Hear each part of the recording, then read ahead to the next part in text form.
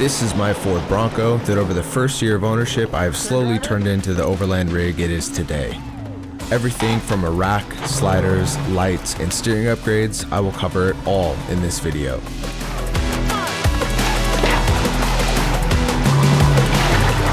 My name is David, and this is the rig that gets me off the grind. My name is David with Off the Grind, and behind me is my 2022 Bronco Badlands with a Sasquatch package that over the last year I built into the overland rig that you see now. There's a lot of parts on there that have been provided by different companies that I work with. In that case, I will let you guys know in full transparency what's what, that I'll link all the products in the description. Some are affiliate links, so if you like this video, found it helpful, and you want some of the parts that I have, please use those links because it helps me out a tremendous amount. Okay, let's get into the walk around starting at the front bumper. So one of the first things I did was address lighting. I found that the Bronco had really poor lighting when I first started using it. So that was one of the first things I needed to address. Because I have the modular bumper, it didn't come with fog lights. So you have a couple options as far as a fog light pocket kit I chose Diode Dynamics. So what I have here is one SS3 Pro and two SSC2 Pros. The SS3 is 3000 lumens at 3000 K temperature, which is the yellow. The SSC2s are 1988 lumens at 6000 uh, Kelvin. Diode Dynamic has their own bracket that they send with this kit. So it's all plug and play. It goes into your upfitter switches. It's an incredibly easy installation. Um, and these were a game changer for me, specifically the amber fogs. I use them all the time. I can't really get down there and show you, but the other thing that I've done on the front end of this vehicle is address the steering rack. So the weak tie rods on the Broncos have been well documented, but I believe there's some misconception happening there. The tie rods are weak because they're designed to be weak. They're supposed to be the failure point. The next weakest part of the steering system is the steering rack itself. It's far easier for the tie rods to break and for you to fix that and get that off the trail than if the rack itself were to fail. So what I did is I got the 74Weld billet aluminum end cap and bushing kit and then the Icon tie rods. The end cap is extremely weak. It's a cast aluminum, it's really thin, um, and it's it would be the next thing to fail if you upgrade the tie rods without upgrading the end cap. So it's really important to do both of those things at the same time. Otherwise, you risk breaking your steering rack itself, and that is not a fun replacement. It's also not a cheap replacement. The end cap is CNC'd out of 6061 aluminum and the installation is really, really straightforward. Um, I did it in my driveway. I didn't have to take the steering rack out. It was a very easy installation. The tie rods are 30% thicker than the stock tie rods.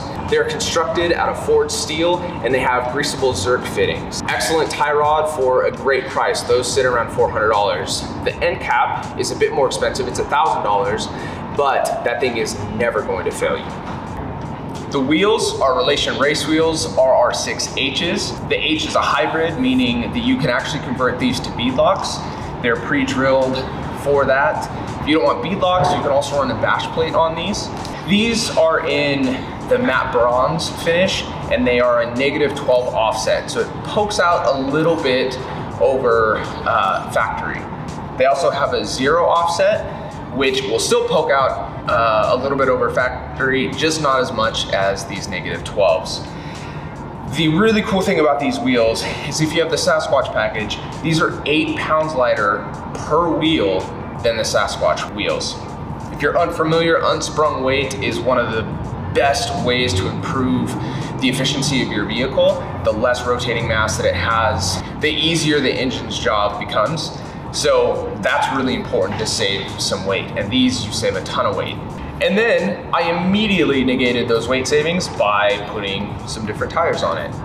So the Goodyear Territories um, did really, really well on pavement and in most off-road conditions, they were just incredibly weak. I didn't like them because of that, so I had to, I chose to swap them out. Initially, I was running Falken Wildpeak RT01s. I really, really liked them. They were incredibly stiff because they have a three-ply sidewall, but they were great tires in almost all situations. I recently, as of a couple days ago, switched to the Nitto Ridge Grapplers. I do not have experience with these, so I can't really speak to them. There was a lot about this tire that I really liked. It has good siping, so wet weather driving on pavement should be really good. Um, it has stone ejectors. This is a hybrid tire, so the center is all-terrain, while the outer blocks are more of a mud terrain style.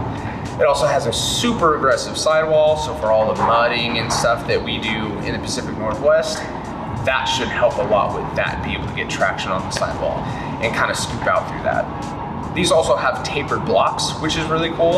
Um, what that does is provide more uh, structural rigidity in each of the blocks itself, so it, it will float around a little less. Um, this also gives you extra edges on each block to provide a little bit more traction. So these are quite a bit heavier than the Territories, but they're seven pounds lighter than the Falken RTs that I had. That may not sound like a lot, but I've actually noticed improved gas mileage after I put these on. And these initially seem to be a lot quieter on the road. The RTO ones were pretty loud, if I'm honest. And I, I hear far less road noise these than I did the Falkens. So right now, I really like these. I just haven't had them off-road yet, to be perfectly honest. For ditch lights, I'm running the same SS3s that I have in the fog light position. Um, still in amber, they're still the pro, so 3000 lumens and 3000 Kelvin for temperature. Um, again, super easy plug and play. They go right into the upfitter switches. If you don't have those, then they come with little toggle switches as well that you can use. Really easy install, and I love these lights. These have a combo beam pattern, meaning half of it is a spot beam and half of it is a flood beam. So it has a little bit of a hot spot in the center, but it also disperses light over a pretty wide area, especially combined with the lights that I have up front. This is a really, really good setup and I've been enjoying these ditch lights. For quite a while, I was running the stock rock rails that come on the Sasquatch package. I recently switched, however, to these rock sliders, which are from RCI Metalworks. The reason I chose RCI is because they're the only rock slider on the market that I can find with a kickout. A kickout is extremely important to me. if you're unfamiliar with what a kickout does, it deflects trees and stumps and rocks and stuff like that away from the rear tire. It'll actually pivot your back end around those obstacles so kick out is really, really helpful in off-roading, in certain off-roading situations. Another thing I really like about these is the step plate that they offer. Uh, being that my tent is so up high and the Bronco is just a taller vehicle in general, it's really nice to have that step to be able to, to get up there. And uh, my wife is pretty pumped about it. So this is a two inch square steel um, for the main support of the rock slider, and then this tube that's out here is one and three quarter inches. That is bigger than any of the competitors on the market, so they're quite heavy, they're 70 pounds each, but they're incredibly strong and they're gonna put up to all the abuse you can throw at them. One of the most commonly asked questions that I get is what roof rack do I use? I use the TrailRax Tremor Rack. It is hands down the best on the market. This has the highest weight capacity for all the Bronco racks at 300 pounds dynamic and 850 pounds static. You have to use the rack packs to get that weight. If it's just the roof rack, then you still see the limitations of the Bronco roof, which is 100 pounds of dynamic weight. But this rack combined with the rack packs allows me to rent a tent like this. Another thing I really like about this rack is on the side rails, it has a 90 degree bend. Uh, that's not something I've seen on any other rack, and that does a couple of things. First of all, it drastically improves the structural rigidity of these side rails. There's no flexing on the rack at all but it's also slotted. So if you want, you can run different accessories up there as well. This is a relatively low profile rack given all it does. Uh, you can still remove all the roof panels with this, um, which is awesome. That was extremely important to me because I love being able to run, uh, you know, roof off in the summer. But another thing, it, it adds 3.3 inches to the highest point of your Bronco. So not a tremendous amount. Obviously, when you combine that with a tent, I'll get into this a little bit later, but this tent is seven inches of height. So in total, I have about 10 and a half inches added to the Bronco's height. Um, in the grand scheme of things, that's not that bad. Uh, some tents are quite a bit bigger, but the TrailRax Tremor Rack is hands down the best rack you can get for the Bronco. I will leave a link in the description because I work with TrailRax. They're great guys, um, great company, and they will definitely take care of you. So this system right here is the rack packs that I mentioned. This is what gives the TrailRax Tremor Rack the weight capacity that it has. So it helps transfer some of the weight from up here to this bar, which is attached to the tub of the Bronco itself. So it distributes that weight from this uh, from this roof to the actual frame of the vehicle. So this, in my mind, this combo is a must if you're gonna get into overlanding because you need to be able to store more weight than 100 pounds up there.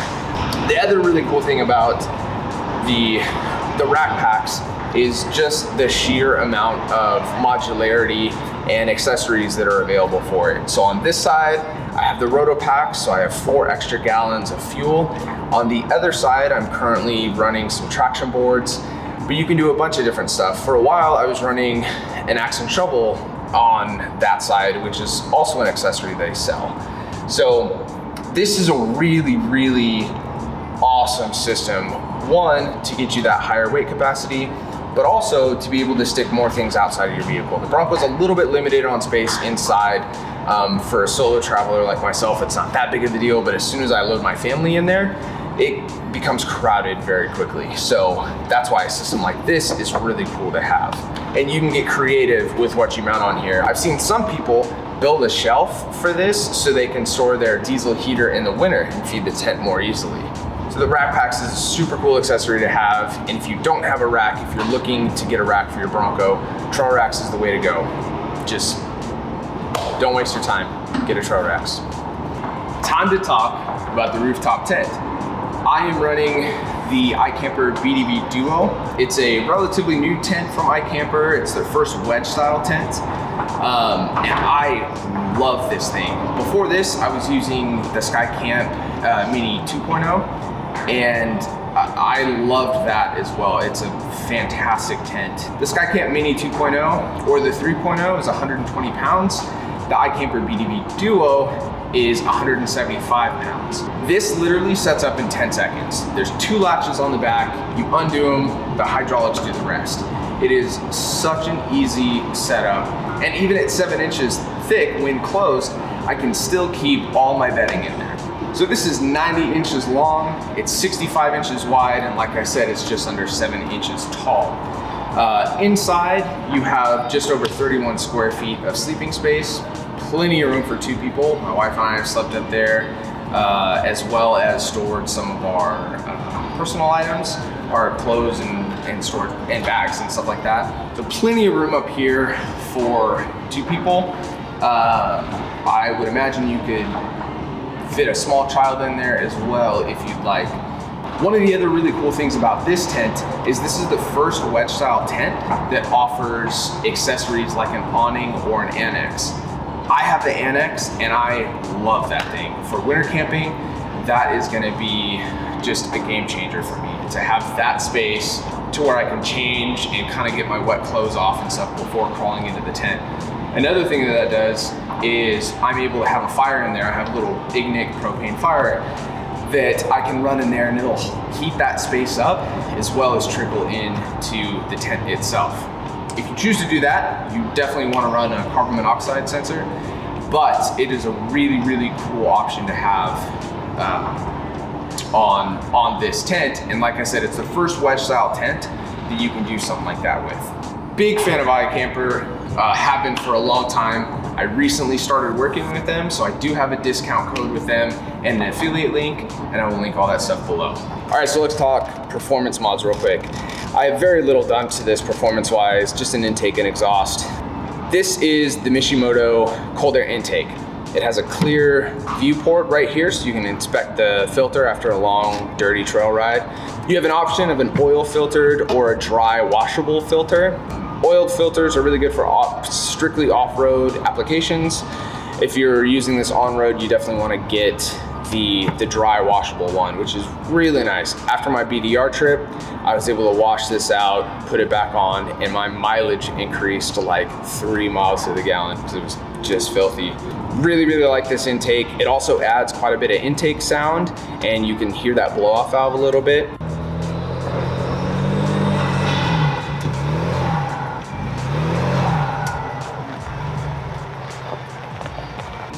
And it is dyno proven to give you 7.5 horsepower and right about the same amount of torque. So super cool intake, uh, super cool power option to, to add to the Bronco for a relatively low cost. Probably the most commonly asked question I get on any of my videos is what exhaust do you have? So I have the Corsa Sport exhaust with the turn down tip. You also have an option of getting a dual tip in the back, but for off-road, I really wanted that clearance. Um, it's two and three quarters mandrel bent piping and uh, all stainless steel.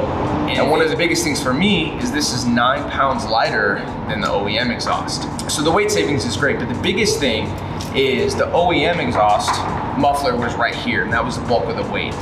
The Corsa system moved the muffler more central to the vehicle, so instead of hanging over the rear axle, it is in front of the rear axle between the two, between the front and rear wheels. So the weight is distributed a bit better with the Corsa exhaust as well as being lighter. But this is why I get asked about it all the time.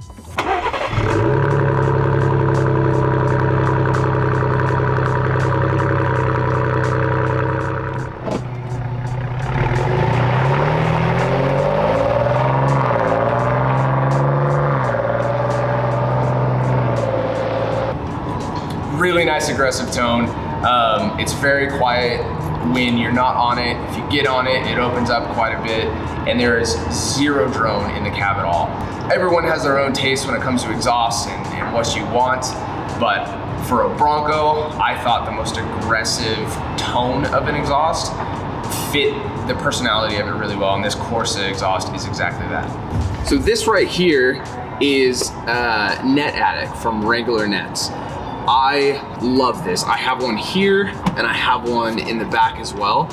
So what I use these for is storing all of my inclement weather gear. So I have a down jacket, I have a rain jacket, I have some beanies, gloves. Um, when I bring my dogs, I have vests for them. Um, I store a bunch of stuff up there um, that it's just always in the vehicle. The weather's all over the place in Washington State. So this allows me to keep the stuff in here so I'm prepared for whatever the trail throws at me. They're an incredibly easy installation. They are way over engineered um, and they're incredible because of it. Uh, I chose to have the mesh inserts so I can store smaller items in there as well. So like I was saying, beadies and gloves and stuff like that. All that stays up there because of the mesh netting. Um, and I just, I freaking love them. I highly recommend getting something from Raingler Nets. They're a super cool uh, small company that is run out of Washington State, and they just they make an incredible product. And the owner Ed is. Um, his attention to detail is wild. You can do a bunch of things with these with the color of the stitching, color of the mesh, color of the fabric itself. So definitely go check these guys out. They're awesome. Down the last couple things of the build. So this is the IAG tailgate table uh, with the MOLLE panel backing. I chose this specifically because of the MOLLE backing. I thought that would be a really good option to store some additional stuff, uh, which it has been. I keep my first aid kit here and a couple of soft shackles. I could definitely be keeping more on it, but that's kind of what I have currently. But this offers a really good workspace for cooking, making drinks, you know, doing whatever I'm doing at camp. It's filthy right now because I'm constantly off-road and I don't get a chance to clean my vehicle ever. But uh, yeah, really, really like this. And coming from a truck, something like this was really important to me. And the last thing I want to talk about is my Iceco APL 55. It is not a modification to the vehicle itself, but it is a huge part of my overland travel. The APL 55 is a dual zone refrigerator and you can control those compartments separately. So typically the back half I'll run as a freezer and then the front half will be a refrigerator. There's a lot of really cool features that I like about this fridge. These clasps are uh, one of my favorite things, but it also has a soft close lid, which is really nice. I've definitely on multiple occasions had a lid swing down and hit my head when I'm trying to pull something out of it. So the soft close is really, really nice. Um, these latches suck the lid down to create a better seal, which is part of the reason it's as efficient as it is. Combine that with the thicker insulation on the entire fridge and it is extremely efficient. This draws less power than my VL45, which is a smaller fridge than this. And this is a dual zone specifically because of how well sealed and insulated it is. I need to be able to keep my vehicle modular. Um, the setup changes depending on if the family's coming or if I'm going out solo. So I unfortunately can't mount this on a fridge slide. Um, but they do offer that for this, and I would love to be able to do it. I can open this plenty in the back of the Bronco to be able to get everything that I need, but the slide would just make it that much easier. This right here is my Midland MXT 575. It's a 50 watt GMRS radio.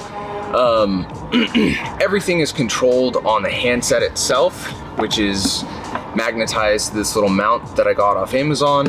Um, and this is a pretty great little system um, that I recently added to my build. Huge fan of this system. It's a very, very simple thing to use. It was a relatively simple install. Um, the 575 will not fit in the glove box, which is what I originally wanted to do. Um, and while I could have gotten a longer cable to be able to put the unit itself underneath the seat, I chose to mount it this way and it actually doesn't get in the way of the passenger's legs. I haven't had anyone complain about it. So, Midland MXT 575, that's what I use for my communication system. So there is the walk around of the Bronco. If you have any questions about any of the parts that I have on there or why I did what I did, put them in the comments below. I will definitely get back to you as quickly as I can. Um, if you liked the video and found it helpful, I would appreciate you hitting the like button and subscribing if you're not already. Again, the links for all these products will be listed in the description below, so definitely visit those. Um, some of them will be affiliate links. Uh, the iKamper one specifically, uh, it's a link as well as a code for you to get the discount. So pay attention to that sort of thing. But yeah, if you have any questions, let me know. Uh, until next time, I hope you're able to get off the grid and off the grind. I'll see you in the next one.